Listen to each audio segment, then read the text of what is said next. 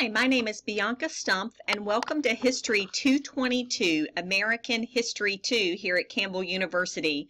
I thought I would take an opportunity to create a screencast narration for you that just walks you through some of the course to help you get oriented to what to expect this semester in our class.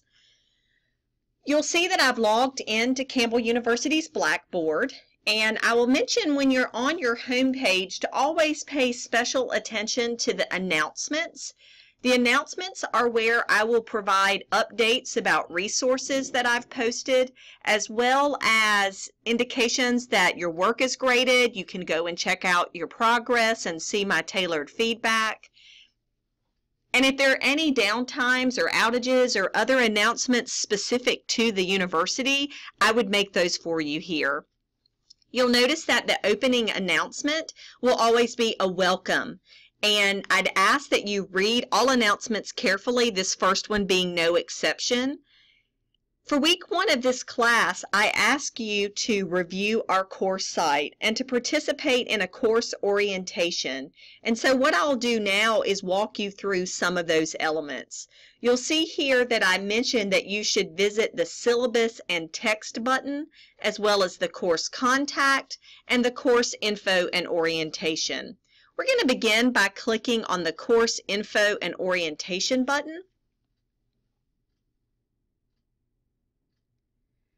And you will see here week one's task is this very orientation I've referenced. Your first step will be to go and look at some of the Campbell University online education resources. Your second step will be to review the course syllabus, calendar, and the other materials I've posted under our syllabus and text button. And then the final step in the orientation will be to participate in a virtual discussion, a discussion board, excuse me, discussion board forum on getting to know you and America. So I'm going to assume for this video that you would check out number one independently. For number two, I want to walk you through some elements of the syllabus and text. So I'm going to click on the syllabus and text button. And you'll notice, of course, that the very first thing that launches is a course syllabus. Each course syllabus is going to be built, of course, with the template Campbell University provides. And I'd have you note that at the beginning of any syllabus of mine, you would see my email and my phone number. Though this is a virtual class, by all means, I encourage you to reach out with me for questions that are unresolved or concerns you have. I want you to be equipped to be successful in the class. You see the course description, student learning outcomes, my availability, our required textbook, attendance policy from the university, and also I would note in a syllabus you can see how this course grade will be determined, as well as my procedures for late work. This is incredibly important to review. As you know, as a college student, each instructor has different expectations for how deadlines are carried out. And so I would encourage you to notice about what things are accepted late and which things are not. Expectations for the course, communications, other information that is relevant to the entire Campbell University experience. And at the close, the very end of the syllabus, perhaps one of its most important pieces for you is our course calendar. In any given semester, I will create a schedule that looks like the one you see displayed here. Week one is that orientation we're talking about. You'll see that week two is unit one, week three, unit two, four, unit three. By the fifth week, we're ready for our midterm exam. The sixth week is unit four. The seventh week, unit five. And finally, by the eighth week, you will have arrived to the final exam and the successful completion of our course. Again, I just encourage you to become familiar with this, download it. It's available in both Word and PDF. Come back to it, mark it in your phones or in paper calendar so you make sure you meet those deadlines. As alluded to above, I do not accept quizzes and discussion boards late, so it's really important that the dates that are assigned are fixed in your priorities. I do accept some papers late, but at a penalty. So to get your best possible grade, um, you're going to be giving me that information to review promptly.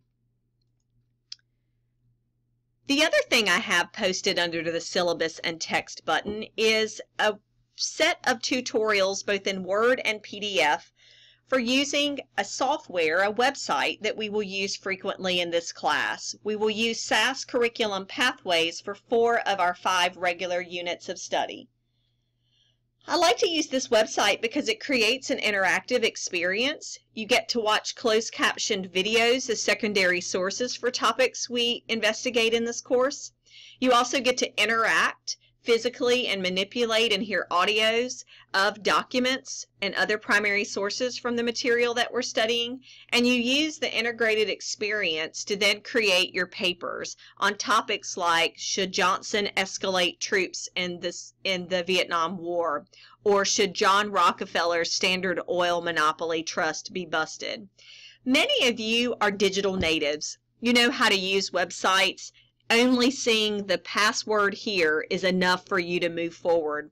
But these resources and these step-by-step -step picture tutorials are available if you find that you need a refresher or some assistance navigating this website, this interactive program that we'll use for four of our five units. To go back to the course info and orientation, after you've reviewed that material, you'll notice that your third and final step is to participate in a virtual discussion. Our virtual discussions in this class are available under the Virtual Discussions button, and you'll see here the orientation Getting to Know You in America. For any of the discussion boards we do for units in this course, as you see here, to post, you simply click on the name of the forum, Click to create a thread. Post a subject and your message content, and then click Submit. The virtual discussions is our way to simulate an engaging interaction and dialogue between classmates. So make sure that you're not only respectful, but that you're complete and analytical in your responses. And I'll be monitoring these, of course, and I'll give you feedback and you earn part of your course grade from your virtual discussion participation. Once you've done those things, once you've reviewed Campbell's website information, once you've checked out the course syllabus and the other materials posted under the syllabus and text button, and finally, once you have submitted your participation in the Getting to Know You in America discussion board forum under the virtual discussions button, you will have completed week one, a manageable way to get a preview of the course. I would also note in this orientation screencast the course contact button. In addition to the syllabus, this is a place where you can go to find out how to reach out to me and some things about me personally. And of course, since it is an American history class, my appropriate picture here is in New York City two summers ago when I saw Bryan Cranston portray Lyndon Johnson in the Tony Award winning performance of Lyndon Johnson in All the Way. Um, Johnson and the passage of the Civil Rights Act. I want to turn quickly to the content and assignments button. This is the material that you will most often use in our semester together. While I will make individual quick quicker screencasts for each major unit, I just want to show you what you would find under contents, content and assignments. Much of the feedback I provide is in Microsoft Word, so you see that here, a tutorial for you to see those comments if you're unfamiliar. Also, students often want to know what A work looks like. And so I have posted a paper with a former student's permission who admittedly did what I wrote here, knocked a home run on the paper on African Americans in the New Deal. As you scroll down, you'll see the week one reference to the orientation requirement here. And then beginning in week two, you tackle a unit each time.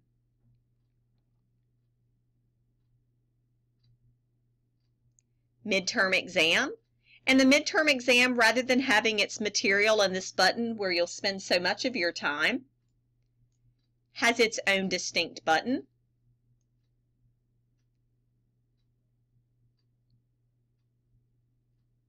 And then finally, after week five, the final exam concludes the course, and like the midterm exam, it will have its own distinct button. In any given unit, when you click, you will see the reading and self-assessment. You'll see videos that are closed captioned on the topics to be studied. You'll see online lectures from lecture points on a variety of topics that include maps, photo, and artwork and other primary sources to accentuate the main ideas of each topic. I've also crafted for each unit something called Common Misconceptions and Difficult Topics.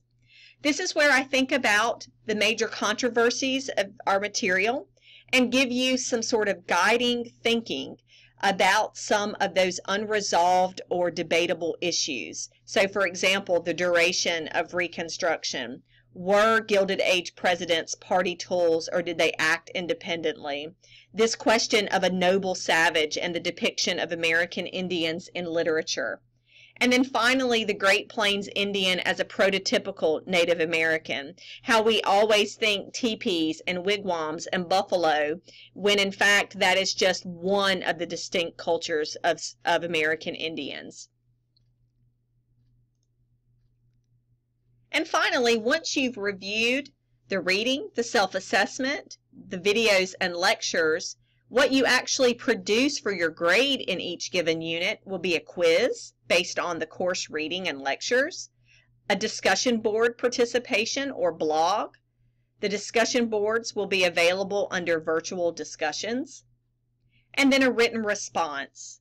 And for each written, res written response, you will click on the link, see a PDF and Word version of the assignment, open it, and then when you're ready to submit, you would submit your assignment here on the name of that given written assignment through a feature in Blackboard called the assignment feature.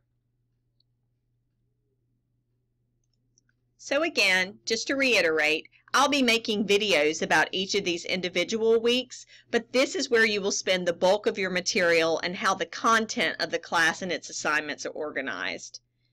The last for me to mention is the final button in this area, the History on the Web button.